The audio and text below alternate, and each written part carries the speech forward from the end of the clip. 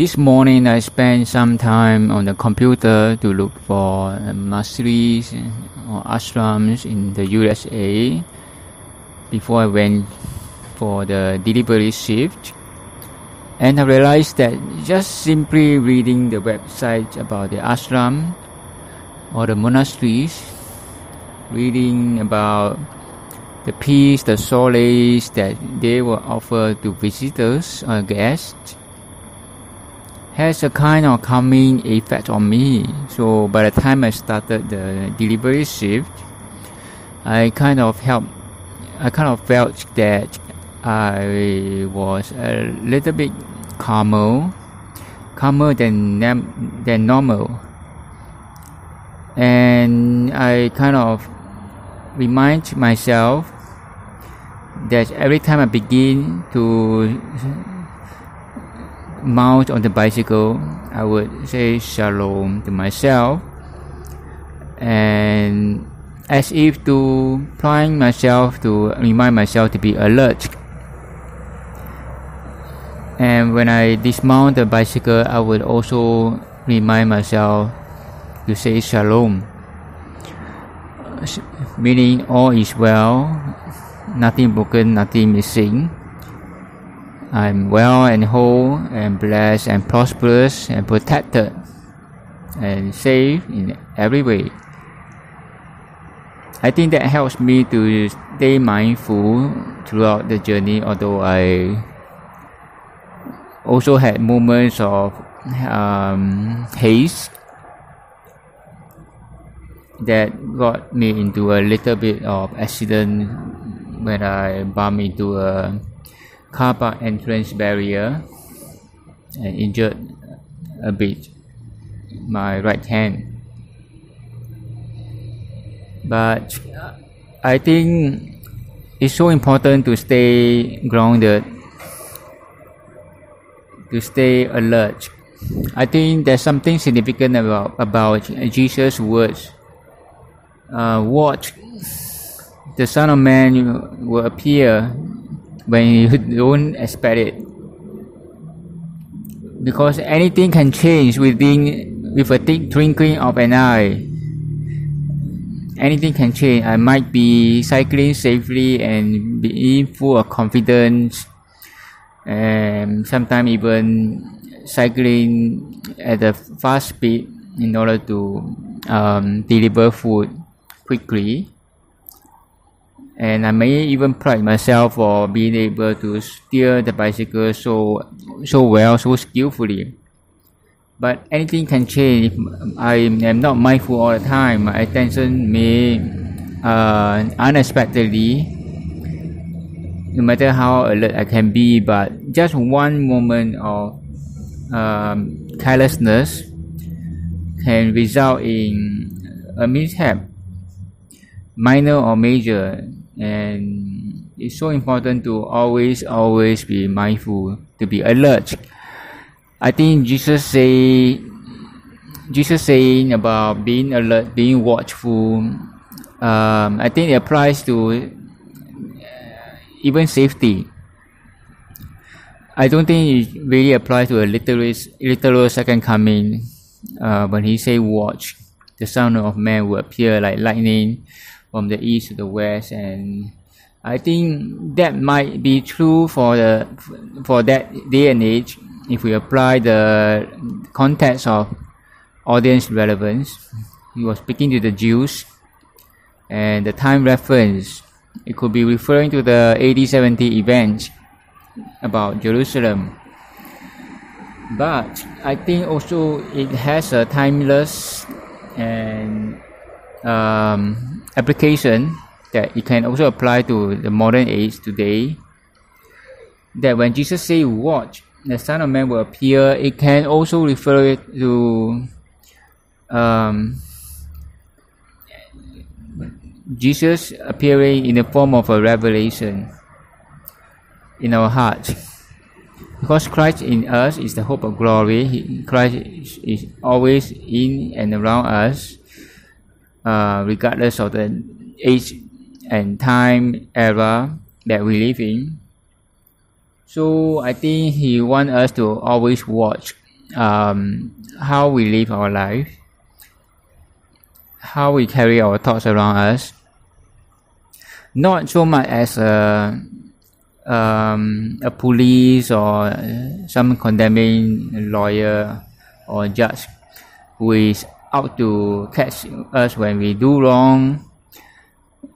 I think it's more like the case of watch whether we are staying in grace, whether we are practicing self-love and self-care, whether we are practicing the blessed pres- presence, living the present moment.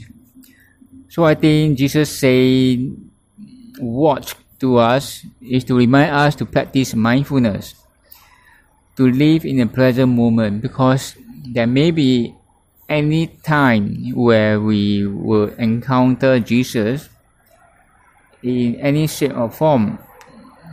Anytime it can be a lesson that we learn from nature, that we learn from an encounter with somebody we meet, meet or a conversation we have with somebody, whether it's family, friends, or colleagues, or uh, coaches, mentors, uh, someone in the community, or teachers, and or strangers on the street.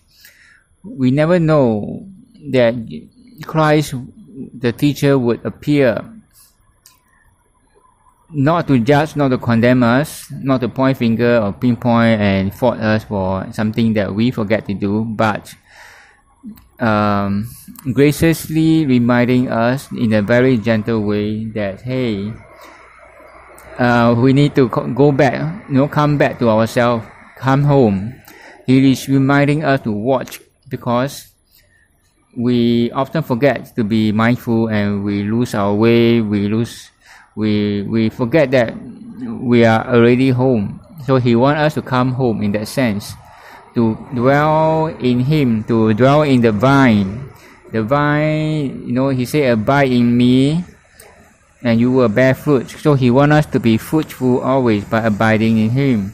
It's not about heaven or hell, it's about the present moment, the experience that we are living in this world in the here and now. So coming home, the parable of the lost son, I think is about um, yeah, it has applications about the Jews and the Gentiles, about the, the legalistic uh, Pharisees has the elder brother, and the younger son is the, the, the lost sheep, the lost coin, and the lost son. I think it's also applicable in the sense that is uh, today is applicable today that when whenever we remind ourselves to come home to to go back to come back to the present moment. That is the time where we relate ourselves, we relate to the the prodigal son coming home and being welcomed and embraced by the father. Similarly, when we remind ourselves to come home to our inner self, to our true home, where our spirit, our soul dwells, to come home to the present moment, we will find ourselves being embraced and welcomed by the Father, who is a, a type, a archetype of our higher self. Our higher self welcome us back to the present moment, which is our true home. Is is transcends geographical location. Uh, our home is not earthly home is not made by hands. It is not an earthly building. Our true home is anywhere we are on planet Earth or anywhere else in the universe where we live in the present moment. That is our true home. That is coming home to the Father, coming home to our true self, our real, authentic, divine self divine identity, the present moment, to realize that we are already here and we will experience unconditional love and that elder brother in the parable could be referring to our flesh, our the shadow side that is legalistic that tell us that we don't deserve to be welcome when we come back home. And we will find that our higher self, the Father, will remind even our shadow that he is also part of the family, the divine dance. So I think it becomes so relevant and so beautiful when I think about this interpretation. See whether you resonate with that interpretation or not. But to me, I was kind of blessed when I see it this way that yes, the parable of the prodigal son is about coming home. Each and every one of us, regardless of the era that we live in, in is it applies to us in the here and now. Whenever we remind ourselves, whenever we find ourselves wandering in the past, into the past or into the future, worry about the past, or no regret about the past or worry about the future. When we come back to the present moment, we are like the prodigal son coming home and being embraced by our higher self, by God within. Christ within is the hope of glory. And that is for my revelation today. And I hope that you are blessed, even as I'm blessed sharing this. Bye and see you again.